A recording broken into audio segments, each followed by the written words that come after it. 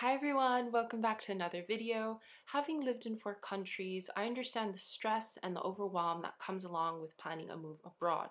Today, I'll be sharing with you information on what to know before moving to the Netherlands. So you may have heard already, but there is a large housing shortage in the Netherlands.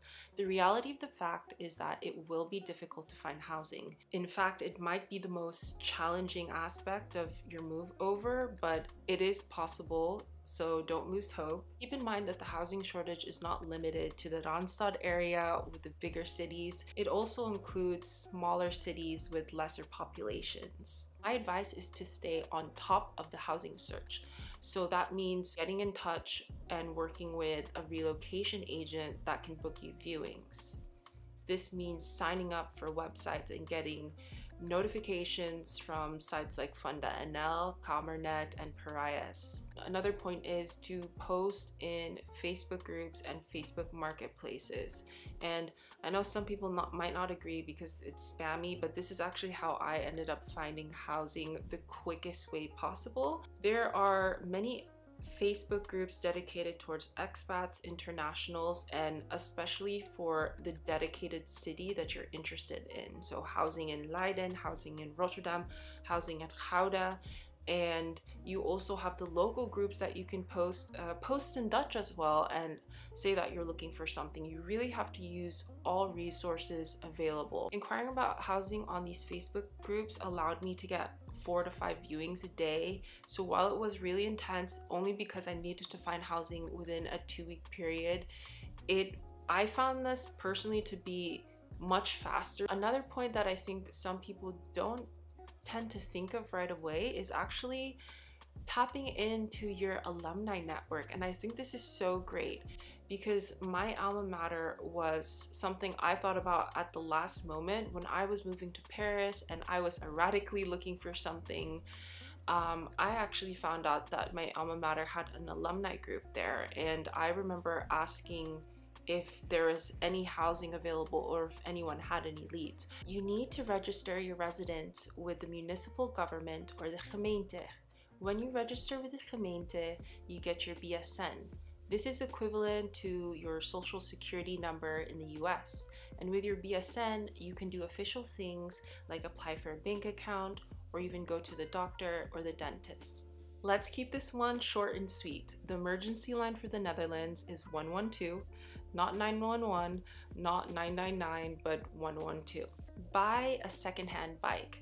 Bikes get stolen here a lot in the Netherlands, and having a nice new shiny one that you leave outside by the store or your house is more of a target than a raggedy old rickety one. So I've been told that the older the better maybe not necessarily all the time, but another great thing about a secondhand bike is that it's cheaper than buying an expensive new bike.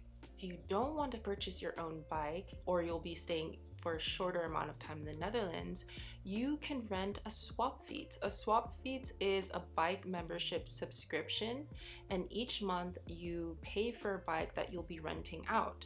So, the cool thing about this is that you're not really bound to a serious contract.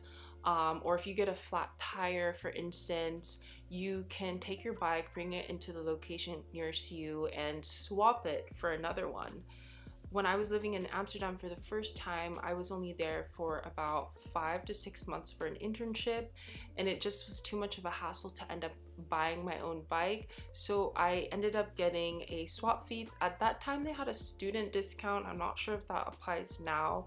So I was renting a bike for, it was about 10 euro 9 to 10 euros per month so when i added that up compared to some of the secondhand bikes i was shopping around for which were like about 200 euros it ended up being much cheaper for me to rent out a swap Swapfiets so that might be a nice option for you.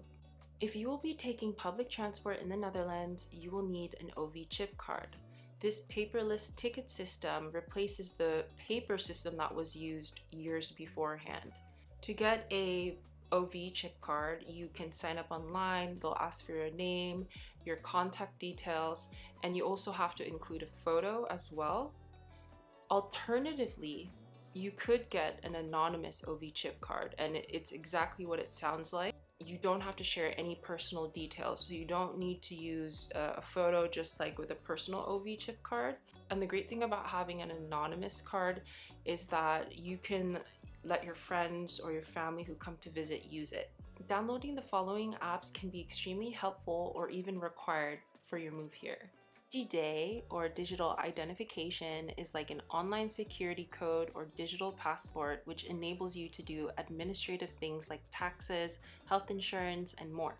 You'll definitely be needing the app Tikkie. Tikkie is like the equivalent of Venmo where you can make payment requests. So next time you're having drinks with friends and you're unsure how to split the bill, just send someone a Tikkie. It's quite common to commute to work in the Netherlands, whether that be through biking, public transportation, or even driving. But did you know that some companies offer public transportation reimbursement that covers this cost either partly or fully?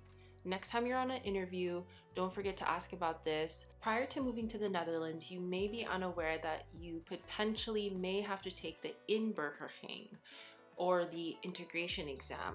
This exam is comprised of different requirements, um, learning Dutch at a certain level, uh, speaking, writing, uh, listening. There's different components to it, and if you'd like to see a video on this, I'd be happy to share. Whether you're in the process of moving here or have just arrived to the Netherlands, I really hope this list was helpful. If you enjoyed it, don't forget to like, subscribe, and share your thoughts in the comments below. Thanks again, and I'll see you guys in the next one. Bye!